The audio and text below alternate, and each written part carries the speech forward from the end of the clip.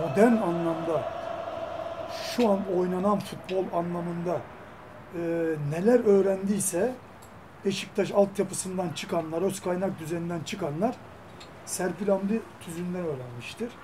Hatta Serpil Hamdi Tüzün'ün bundan 40 sene evvel öğrettikleri ve yaptığı antrenmanlar şu an biz izliyoruz, takip ediyorum. Zaten bu işlerin de içindeyim. Yorumlar yapıyorum. İşte e, televizyonumuza gidiyorum, ediyorum.